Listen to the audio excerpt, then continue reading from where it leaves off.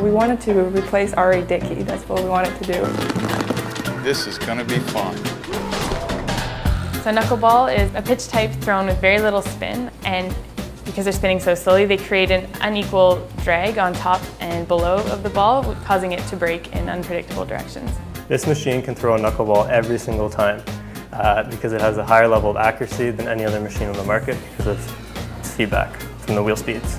So there were two goals for this project. One was to throw a knuckleball and the other was to throw a repeatable knuckleball. We were able to throw a consistent knuckleball, but we weren't able to throw a repeatable knuckleball where it breaks in the exact same way every time just due to the precision needed to do that. This is actually really good for catchers um, when you have uh, a knuckleball that comes in in unpredictable ways. It, it's really good for them to uh, practice their catch. With a knuckleball, you have to follow the ball all the way into the glove. Uh, kind of like you know how I, I, guess I how I started catching when I, when I was a kid. You know, you really got to um, emphasize on really tracking the ball all the way through because it, it, it can dance all the way to you know the, the last couple inches.